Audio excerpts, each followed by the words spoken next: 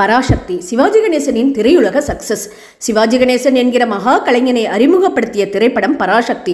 தமிழில் சரித்திர புராண கதைகள் மட்டுமே அதிகம் படமாக்கப்பட்டு வந்த காலத்தில் தமிழ் திரையுலகின் போக்கையே மாற்றிய படம் இது. ஆயிரத்தி தொள்ளாயிரத்தி ஐம்பதுகளில் பாவலர் பாலசுந்தரம் எழுதிய பராசக்தி எஸ் என் நடராஜனின் என் தங்கை நாடகங்கள் தமிழகத்தில் புகழ்பெற்று இருந்தன. இரண்டும் தங்கை பற்றிய கதையை கொண்டது என்பதால் இரண்டையும் ஒன்றாக்கி படமாக்க முயற்சி செய்தது கோவை சென்ட்ரல் ஸ்டுடியோஸ் நிறுவனம். பாலசுந்தரத்துக்கு இதில் விருப்பமில்லை. இல்லாததால் வேறொரு தயாரிப்பாளரிடம் பராசக்தி நாடகத்தின் உரிமையை விற்றுவிட்டார். எம்ஜிஆர் நடிப்பில் என் தங்கை அதே பெயரில் படமாக உருவானது. பின்னர் ஏவிஎம் படங்களை விநியோகித்து வந்த பி. ஏ. பெருமாள் பராசக்தியின் உரிமையை வாங்கி national pictures பேனரில் திரைப்படமாக்கினார்.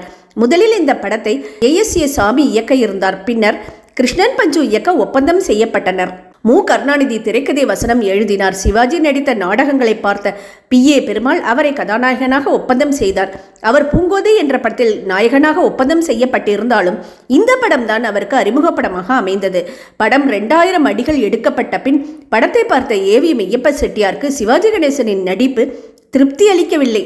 K. R. Ramasamy அல்லது டி. ஆர். ராமச்சந்திரனை நாயகனாக்கி படத்தை எடுக்கச் சொன்னார். ஆனால் தயாரிப்பாளர் மறுத்துவிட்டார். அவர் ஒல்லியாக இருப்பதால் அப்படி சொல்கிறீர்கள். அவர் உடலை தேற்றினால் சிறப்பாக இருப்பார் என்று கூறி அதற்காகவே ஒருவரை நியமித்தார்.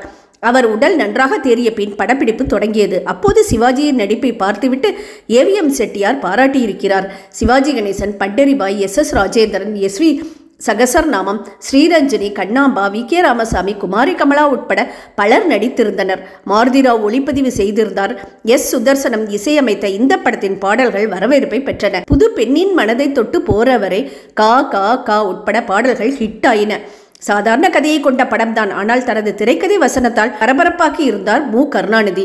அதுவரை பாடல்களில் மயங்கி கிடந்த ரசிகர்கள் வசனங்களுக்கு மயங்க தொடங்கியது இந்த படத்தில் இருந்துதான். ஜாதி மதம் சமூக சமத்துவமின்மையை கேள்வி கேட்ட இந்த படத்தின் வசனங்கள் கூர்மையாக இருந்தன. இதில் இடம்பெறும் நீதிமன்ற காட்சிக்கும் கோயிலுக்குள் சிவாஜி பேசும் வசனத்துக்கும் பலத்த வரவேற்பு கிடைத்தது. இதில் இடம்பெற்ற நாத்திக கருத்துகளுக்கு எதிர்ப்பும் கிளம்பியது.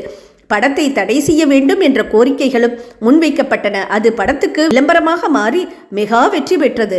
இந்த படத்துக்காக நடிகர் சிவாஜிக்கு கொடுக்கப்பட்ட சம்பளம் ரூபாய் இருநூத்தம்பது.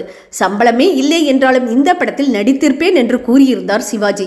அதே நேரம் ஏவிஎம் ஸ்டுடியோவில் வளர்ந்த மரங்கள் தண்ணீரால் வளரவில்லை. என் கண்ணீரால் வளர்ந்தன என்றும் கூறியிருக்கிறார் சிவாஜி.